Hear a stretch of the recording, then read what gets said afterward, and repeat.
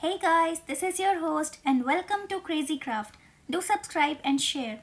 As promised, here I am again with new things to learn in easy steps.